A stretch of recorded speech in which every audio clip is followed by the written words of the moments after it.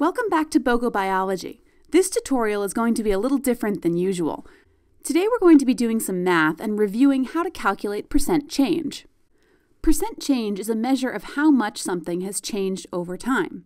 It compares an older value with a newer one, and it can also be called relative change, percent increase, or percent decrease. Percent change is useful across every branch of science because it allows us to put our data into context. Having a basic understanding of how it works is also very useful in everyday life. Consider the following fake headlines Participants lost 25 pounds. Our stock price surged by $5. Athlete wins Olympic gold and sets record by one second.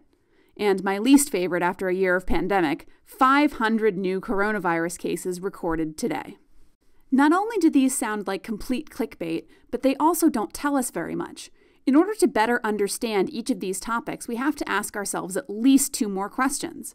Number one, is that a lot? And number two, is that good or bad? With the fake weight loss example, we don't know what patients weighed at the start of the experiment. Did people weigh 400 pounds or did they weigh 100 pounds?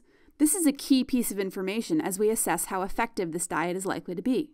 Similarly, the starting price of our fictional stock will determine whether a $5 increase is just a small blip or whether it's truly a massive surge. Percent change is also very useful in athletics. A gold medal is impressive no matter what, but setting a record by one second is going to mean different things depending on how long the race was. Was it a marathon or was it a sprint?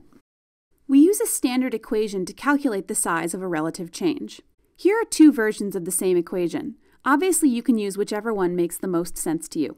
In the numerator, we're figuring out how much change has occurred, and then we're comparing it in the denominator to the initial value or the starting value.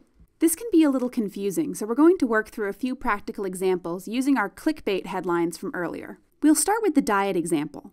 It claims that participants all lost 25 pounds, but we need some context.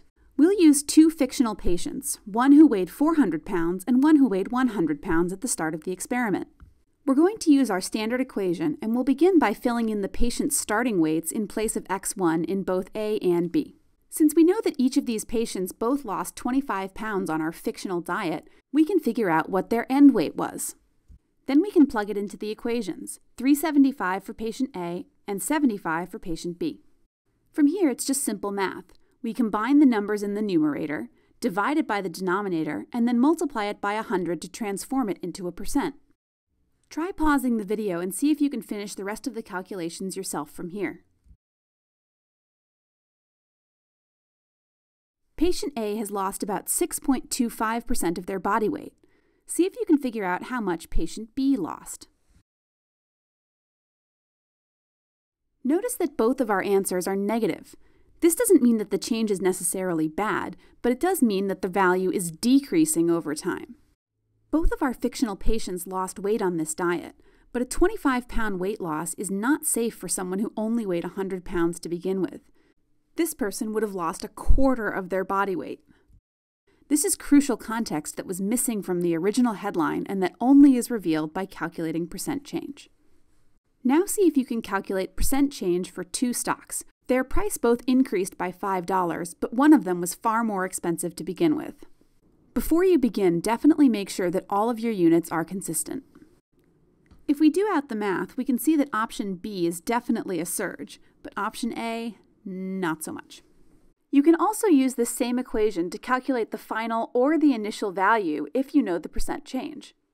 For instance, a conservation organization might set a goal of increasing the population of an endangered species by a specific amount over a few years. If the goal is to increase the population by 30%, input 30 where the C goes, and then add in other given values. Here you have the initial population. In this case, the final population is the unknown, and so that's what we're going to solve for. Again, see if you can solve this yourself before you watch me do it. If you do out the math, you'll find that increasing a population of 10 by 30% results in 13 organisms at the end. If you start with a population of 5,000, if you increase by 30%, you'll end up with 6,500 organisms.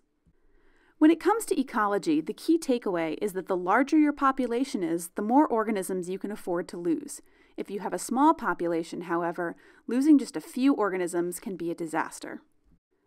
That wraps up our first ever math tutorial on percent change.